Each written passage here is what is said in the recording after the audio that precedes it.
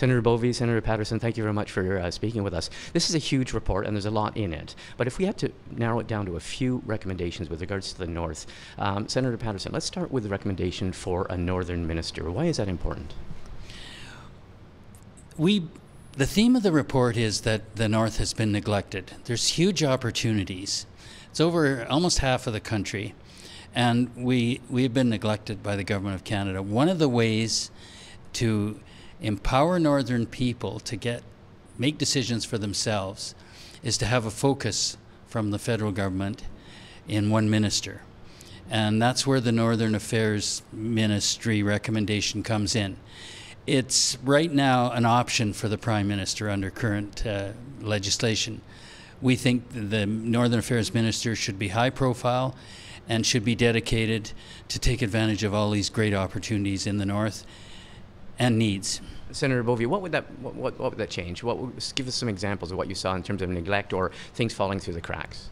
Well, we can talk about housing, we can talk about education, we can talk about support for northern artists, we can talk about health, all aspects of daily living. Uh, the game, I shouldn't say the game, the, the, the standards are different. And my question is is that fair? And uh, we also came up with the line, we heard it many times, that decisions for the North need to be made in the North and by the North. And uh, it is my hope that um, Minister for the North will indeed embrace that and be able to focus direction on the multitude of issues, urgent and longer term that may not be quite so urgent but will be a pathway. To be a devil's advocate for people in the South, they say, well, we thought we gave devolution to the Northern Territories. We thought that was all done. We thought these powers were transferred. Um, how do you react to that? There are legions of officials in Ottawa. We see them all the time in committees who don't know anything about the North, who've probably hardly ever been to the North, who are designing programs, delivering programs remotely. This is a, a colonialism. It has to end. Let me just tell you a story, if I may.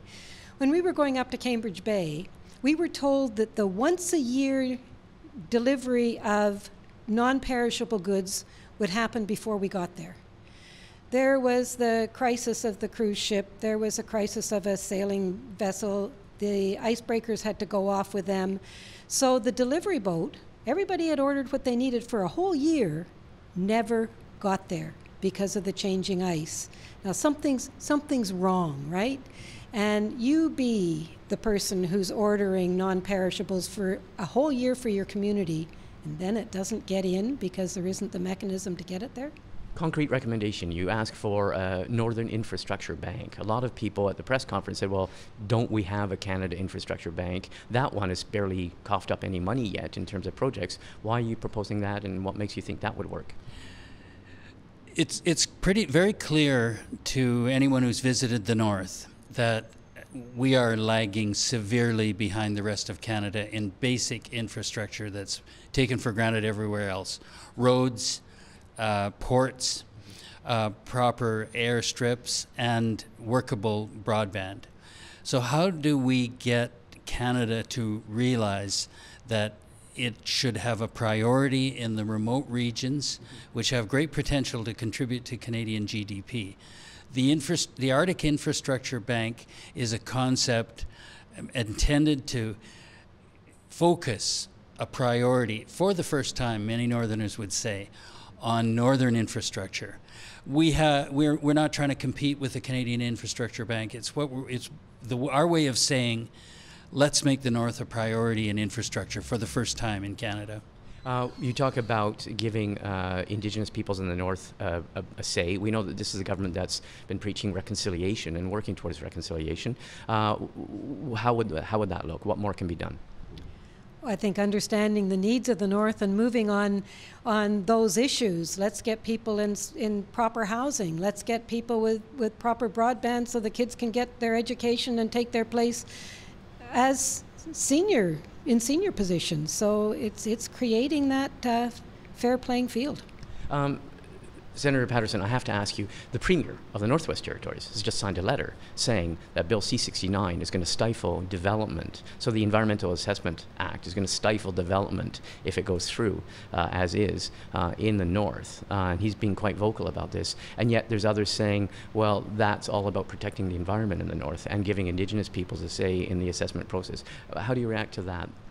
Well, Premier McLeod has been very vocal about not having been consulted about the Arctic oil and gas uh, exploration and development moratorium that was arbitrarily implemented by the current Prime Minister. Uh, he issued a red alert, and it resulted in Northern Affairs Minister um, Dominic LeBlanc setting up a consultation process with the government of Northwest Territories and the Inuvialuit to develop a co-management regime in the Arctic. So Premier McLeod has been strident, but he's been listened to. I think we should be very careful to note that what the premiers recommended to the Prime Minister in their letter was that there is more balance now in C69, the new regulatory framework, as a result of over 100, well over 100 amendments the Senate introduced. And they're saying to the Prime Minister, the bill is better.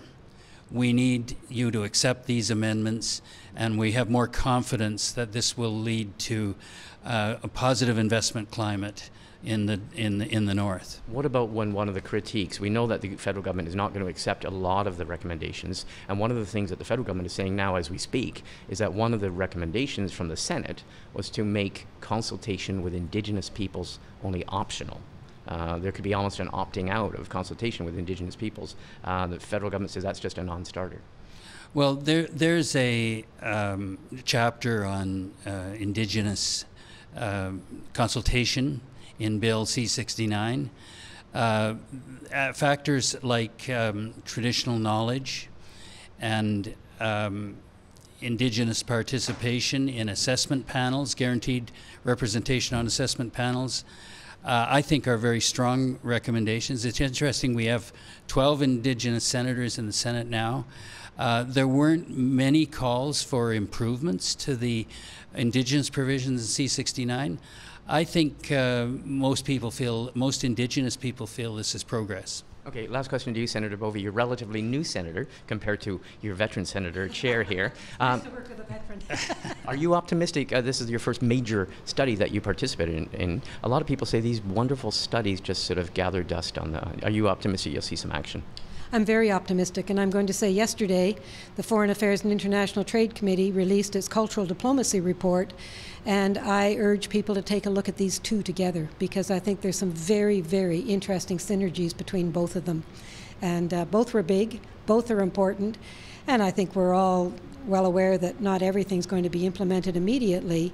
But as I said in my remarks earlier, this is a very important pathway that deals with the now and deals with the future. Okay, well, I want to thank both of you for taking the time. Thank you for your work, and uh, thanks for speaking with us. Thank you. Thank you.